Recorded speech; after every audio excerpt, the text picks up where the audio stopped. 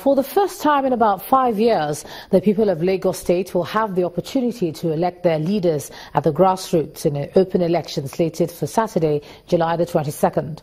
The local government election is expected to usher in new chairmen and councillors in the 20 local government and 37 local council development areas across the state.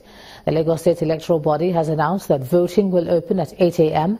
as voters will be able to vote using the existing INEC register used in the national elections. The Lagos State government has also announced that movement will be restricted for residents of the state between 7 a.m. and 3 p.m. to allow for a smooth conduct of the election.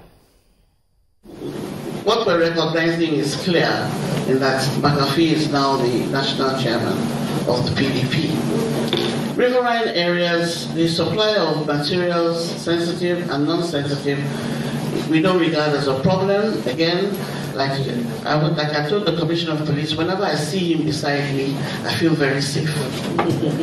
the riverine, the military police, or what, what they call the, the marine police, have been in touch with us through the commissioner of police directly, and we have um, made adequate arrangements with them. The boats, boats are being deployed the police, the, the marine police, the and the navy, they're both they're supervising all this, ensuring that the boats are safe, that there are life jackets there, and of course they will have um, police personnel and navy personnel to guide them through the riverine areas.